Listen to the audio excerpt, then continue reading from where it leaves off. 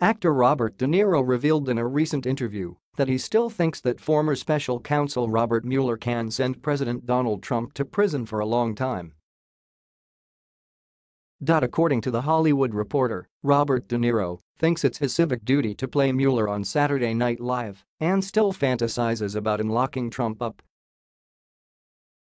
I consider it my civic duty to do that part, just to be there, because Mueller doesn't say much, but he doesn't have to.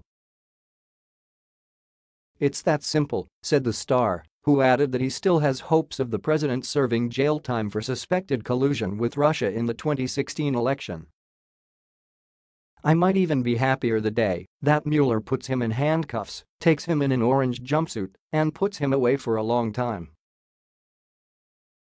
The taxi driver actor also baselessly claimed that Attorney General William Barr covered up negative details in the Mueller report, calling it pathetic. You know that's interesting. That Democrats are trying to do the right thing and said, we're waiting for justice to come, and then it doesn't come, De Niro said.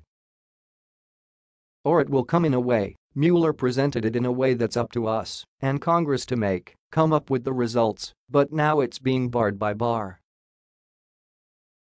And that's to be seen now what Congress will do and how effective they're going to be. The Mueller report, of course, did not reveal evidence of collusion between the Trump campaign and Russia. The 75-year-old said earlier this year that the president is a white supremacist and racist. If he had his way, we'd wind up in a very bad state in this country. I mean, the way I understand it, they laughed at Hitler. They all look funny.